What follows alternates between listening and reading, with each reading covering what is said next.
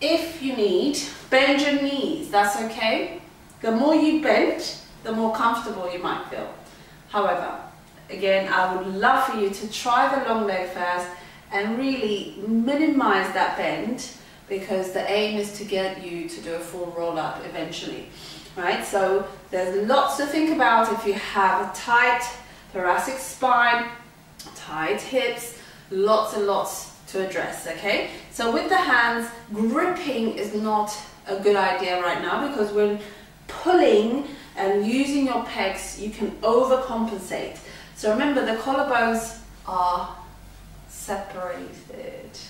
Feels fabulous when the shoulders are backing down and you feel the mobility, the back of the rib cage. So you're lengthening the spine, the legs are longer, and you're grounded into the floor at the same time.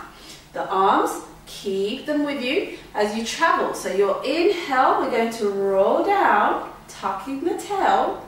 So very small movements, scooping as you exhale, where you scoop all the way forwards and sit back up again.